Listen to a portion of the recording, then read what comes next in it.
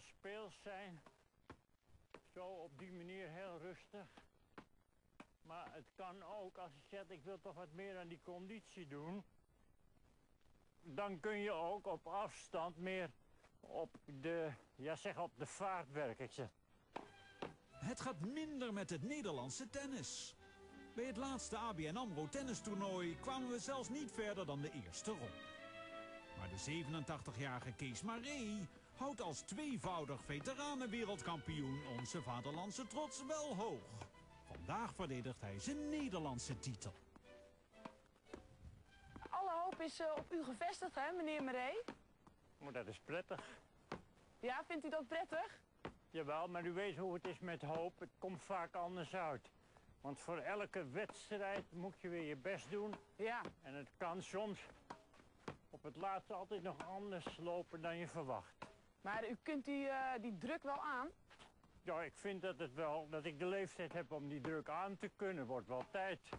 Maar de meeste mensen van uw leeftijd eh, zitten achter de geraniums. Ja, ik zit ook wel achter de geraniums.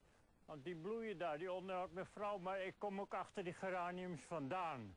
Ik heb niets tegen geraniums, maar je moet je niet tot die ene bloemensoort beperken. Er is nog meer in het leven dan geraniums.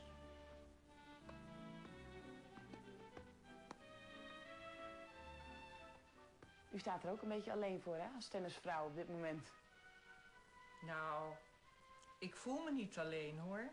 Maar met die Nederlandse tennissers op dit moment is het eh, niet zo goed gesteld. Nee, ik ben er niet echt, eh, echt eh, blij mee. Maar eh, die Nederlandse tennissers van tegenwoordig, die kunnen wel eh, wat van u leren volgens mij. Heeft u dat opgenomen? Ja? Dat is mooi. Eh, uw man moet straks een eh, belangrijke wedstrijd spelen. Ja. Is hij daar nou nog zenuwachtig voor?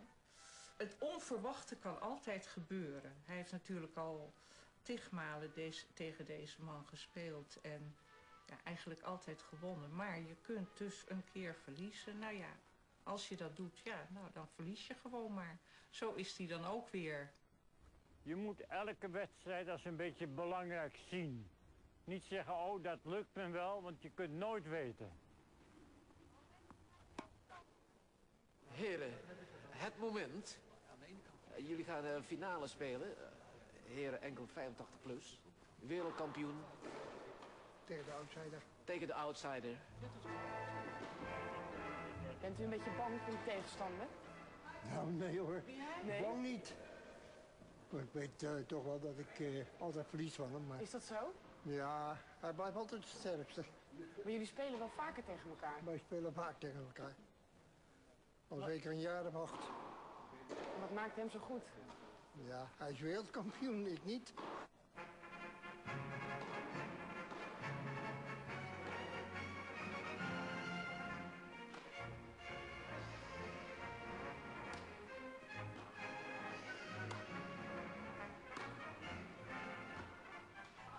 Is het 040 al? Ja, ja. Ja, ja. Ach jee, ach jee. Kees, het is 4-1. Is toch 4-0? Nee, hij heeft er één gehaald. Hoeveel is het Frans? En ik heb hardop geteld. Nee, ik, ik heb ook geen. Nou, het gaat een klein beetje chaotisch. De scheidsrechter kan niet tellen.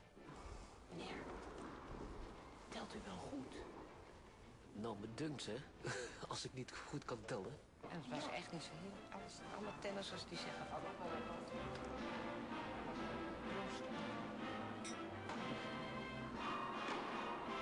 Uit. Spel, zet en wedstrijd Kees. Even naar de man toe. Frans, kom hier. Ik maak je mijn compliment. Dankjewel, Goed hoor, keurig gespeeld. dankjewel. Gefeliciteerd, eh, meneer Maree. Dank je wel.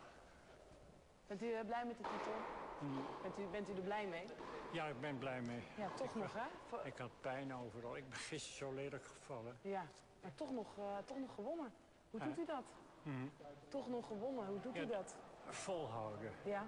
Ja. Is, is dat ook wat, wat de Nederlandse tennissers moeten doen op dit moment? Ja, maar ze, de jeugd groeit anders op dan zoals ik opgegroeid ben. Ze hebben alles, ze hoeven niet te knokken. Want ik heb altijd moeten vechten. Ja, wel eens. is wat, dat.